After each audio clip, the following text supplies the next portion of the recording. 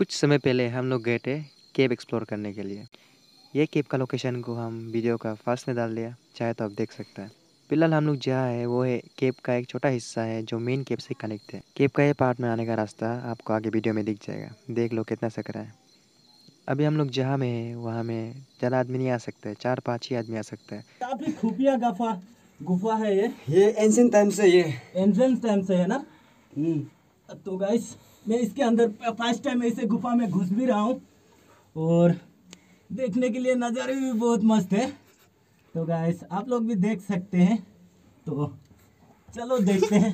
कपड़ा भी हाल फ़िलहाल थोड़ा बहुत गंदा हो गया है। मेरा तो ये देखिए कपड़ा का हाल। मोटापा। मोटापा। भाई साहब जिम करना बंद करना पड़ेगा। नहीं तो लटक जाना पड़ेगा ऊपर ही। ओ, ओ भाई साहब। हे गाइस कैसे हो? हाथ चाहिए क्या? हो जाएगा। ठीक है। एकदम टिक ठीक है ना?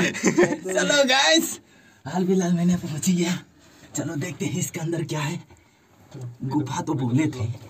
तो मस्त है यार। ये मैं घर बना लेगा अरे चलो ठीक ही है। घर बनाते हैं पहले। ओ गाइस तो मुझे भी पता नहीं।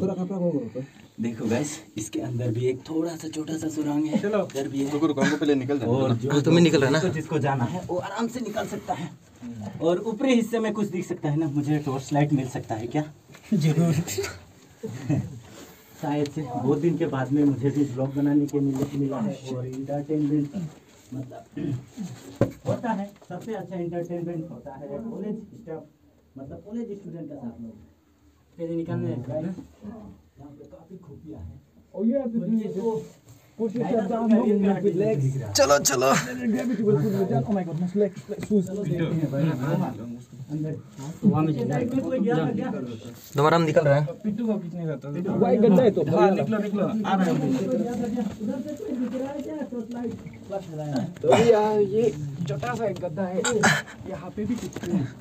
कुछ नहीं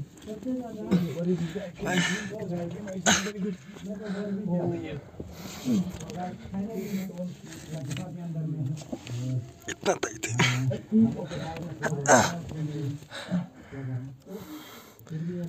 क्या चीज़ है तुम्हारे वहाँ में? कुछ बात जैसे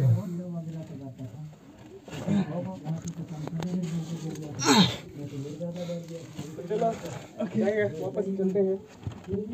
इनकमिंग ये से से निकल रहा मेरे पता नहीं।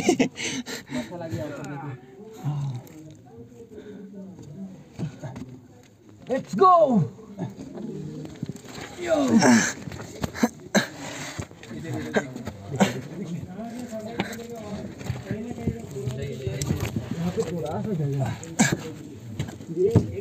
कोई कोई जगह नहीं है।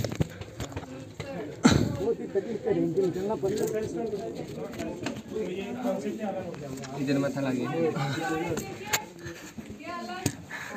इधर आ इधर आ सब आ जाओ सीधे